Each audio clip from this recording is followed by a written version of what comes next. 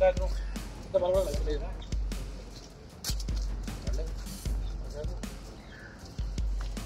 ਅੱਗੇ ਜੀ ਪਿੱਛੇ ਹੋਣਗੇ ਜਿਵੇਂ ਤੁਸੀਂ ਕਹੋਗੇ। ਨਹੀਂ ਆਪਾਂ ਪਹਿਲਾਂ ਦੀ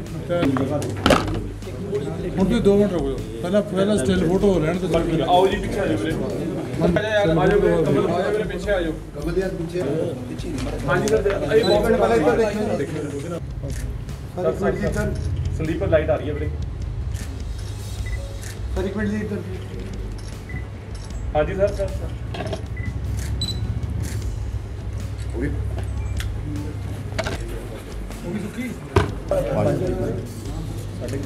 ਕਲੋਨੀਆਂ ਹੋ ਗਈਆਂ ਪੀਜੀ ਵਾਲੇ ਤਾਂ ਦੇਖ ਸ਼ਹਿਰ ਦੇ ਵਿੱਚ ਤਾਂ ਜਿਵੇਂ ਮੰਦਰਾ ਕਲੋਨੀ ਹੋ ਗਈ ਰੰਗੇ ਸ਼ਾਹ ਕਲੋਨੀਆਂ ਹੋ ਗਈਆਂ।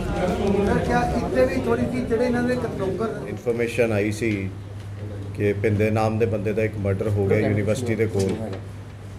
ਉਸ ਦੀ ਤਫਤੀਸ਼ ਵਾਸਤੇ SP city DSP D DSP city 2 incharge CIA ਤੇ ਐਸਐਚਓ ਇਹਨਾਂ ਦੀਆਂ ਅਲੱਗ-ਅਲੱਗ ਟੀਮਸ ਦਾ ਗਠਨ ਕੀਤਾ ਗਿਆ ਸੀ ਤੇ ਇਹਨਾਂ ਵੱਲੋਂ ਇਹਦੇ ਵਿੱਚ 7 ਬੰਦੇ ਟੋਟਲ ਜਿਹੜੇ ਇਸ ਕ੍ਰਾਈਮ ਨਾਲ ਕਨੈਕਟਡ ਸੀਗੇ, ਉਹ ਅਰੈਸਟ ਕੀਤੇ ਗਏ ਨੇ।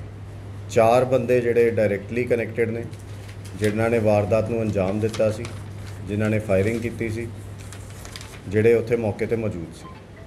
ਤਿੰਨ ਬੰਦੇ ਇਹੋ ਜਿਹੇ ਉਹਨਾਂ ਦੇ ਨਾਲ ਅਰੈਸਟ ਕੀਤੇ ਗਏ ਨੇ, ਜਿਨ੍ਹਾਂ ਨੇ ਇਹਨਾਂ ਨੂੰ ਪਨਾਹ ਦਿੱਤੀ ਸੀ, ਰੱਖਿਆ ਸੀ, ਉਹਨਾਂ ਨੂੰ ਪਤਾ ਸੀ ਕਿ ਵਾਰਦਾਤ ਕਰਕੇ ਆਏ ਨੇ ਵਾਂਟਡ ਨੇ ਪੁਲਿਸ ਵੱਲੋਂ, ਤਾਂ ਵੀ ਉਹਨਾਂ ਨੂੰ ਆਪਣੇ ਘਰ ਰੱਖਿਆ, ਉਹਨਾਂ ਨੂੰ ਪਨਾਹ ਦਿੱਤੀ ਤੇ ਪੁਲਿਸ ਨੂੰ ਇਨਫੋਰਮ ਨਹੀਂ ਕੀਤਾ ਗਿਆ।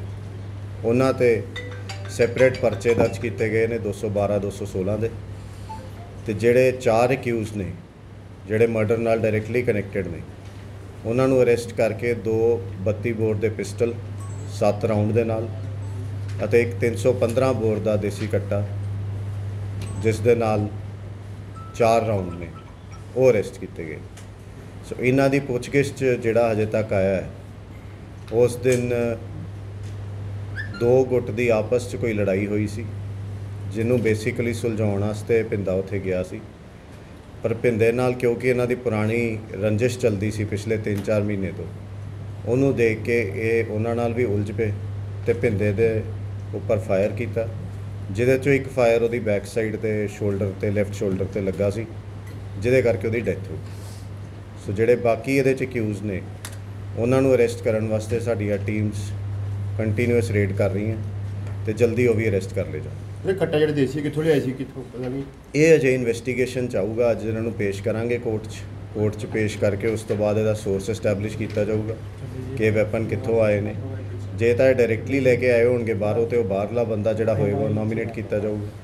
ਜੇ ਕਿਸੇ ਦੇ ਥਰੂ ਉਹ ਵੈਪਨ ਆਏ ਹੋਣਗੇ ਚਾਹੇ ਉਹ ਜੇਲ੍ਹ 'ਚ ਹੋਵੇ ਚਾਹੇ ਉਹ ਬਾਹਰ ਹੋਵੇ ਉਹਨੂੰ ਅਕੋਰਡਿੰਗਲੀ ਨੋਮੀਨੇਟ ਕੀਤਾ ਜਾਊਗਾ। ਇਹਨਾਂ ਦੇ ਪਹਿਲੇ ਕੋਈ ਪਰਚੇ ਦਰਜ ਨੇ ਜੀ ਮਾਮਲੇ? 'ਚ? ਪਹਿਲਾਂ ਹੈਗੇ ਇਹਨਾਂ ਤੇ ਜਿਹੜੇ ਤਿੰਨ ਬੰਦੇ ਅਰੈਸਟ ਕੀਤੇ ਗਏ ਨੇ ਪਨਾਹ ਵਾਲੇ ਉਹਨਾਂ ਚੋਂ ਦੋ ਤੇ ਪਰਚੇ ਦਰਜ ਨੇ ਤੇ ਜਿਹੜੇ ਇਹ ਚਾਰ ਜਿਹੜੇ ਡਾਇਰੈਕਟਲੀ ਕਨੈਕਟਡ ਨੇ ਇਹਨਾਂ ਚੋਂ ਇੱਕ ਨਵੀਂ ਹੈਗਾ ਜਿਹਦੇ ਤੇ ਪਹਿਲਾਂ ਇੱਕ ਪਰਚਾ ਦਰਜ ਹੈ 2020 ਦਾ ਥਾਣਾ ਪਸਿਆਣਾ ਜਿਹੜੇ ਬਾਕੀ ਤਿੰਨ ਅਰੈਸਟ ਹੋਏ ਨੇ ਇਹਦੇ 'ਚ ਉਹਨਾਂ ਤੇ ਕੋਈ ਵੀ ਪਰਚਾ ਪਹਿਲਾਂ ਦਰਜ ਨਹੀਂ ਹੈ। ਸਰ ਪੜਨ ਵਾਲੇ ਕਿੱਥੋਂ? ਯੂਨੀਵਰਸਿਟੀ ਪੜ੍ਹਦੇ ਸੀ ਕਿਵੇਂ ਬਾਕੀ? ਯੂਨੀਵਰਸਿਟੀ 'ਚ ਪੜ੍ਹਦੇ ਵੀ ਸੀਗੇ ਨੇੜੇ ਰਹਿੰਦੇ ਵੀ ਸੀਗੇ। ਸੋ ਇੱਕ ਜਿਵੇਂ ਬੀਏ ਕਰ ਚੁੱਕਾ ਹੈ ਇੱਕ ਐਮਏ ਕਰ ਚੁੱਕਾ ਹੈ ਇੱਕ ਨੇ ਪਲੱਸ 2 ਕੀਤੀ ਹੈ ਇੱਕ 10ਵੀਂ ਪਾਸ ਹੈ।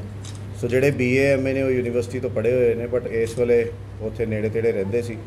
ਜਿਵੇਂ ਮੈਂ ਲਾਸਟ ਟਾਈਮ ਵੀ ਤੁਹਾਡੇ ਨਾਲ ਸਾਰਿਆਂ ਨਾਲ ਡਿਸਕਸ ਕੀਤਾ ਸੀ ਕਿ ਯੂਨੀਵਰਸਿਟੀ ਦੇ ਅਰਾਊਂਡ ਜਿਹੜੇ ਪੀਜੀਜ਼ ਨੇ, ਉਹਨਾਂ ਤੇ ਅਸੀਂ ਸ਼ਾਰਟਲੀ ਰਿਸਟ੍ਰਿਕਸ਼ਨਸ ਲਾ ਰਹੇ ਹਾਂ।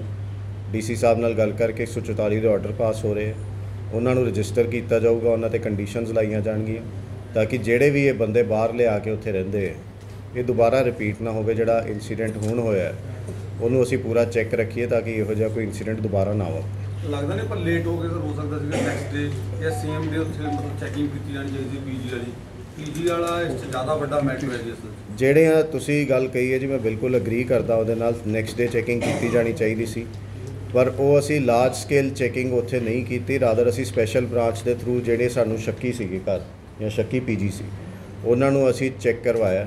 ਸੋ ਉਹਨਾਂ ਚੋਂ ਅਸੀਂ ਸੈਗਰੀਗੇਟ ਕਰਕੇ ਬਿਕੋਜ਼ ਸਾਡੀ ਪਹਿਲੀ ਇਸ ਵੇਲੇ ਪ੍ਰਾਇੋਰਟੀ ਸੀਗੀ ਕਿ ਜਿਹੜਾ ਮਰਡਰ ਹੋਇਆ ਉਹਨੂੰ ਟਰੇਸ ਕੀਤਾ ਜਾਵੇ, ਬੰਦੇ ਅਰੈਸਟ ਕੀਤੇ ਜਾਣ।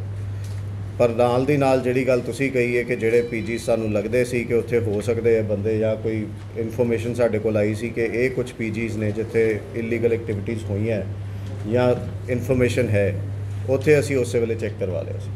ਸੋ ਇਹ ਰੂਟੀਨ 'ਚ ਚੈਕਿੰਗ ਚੱਲਦੀ ਰਹੂਗੀ, ਅੱਗੇ ਵਨ ਟਾਈਮ ਚੈਕਿੰਗ ਨਹੀਂ ਹੋਏਗੀ।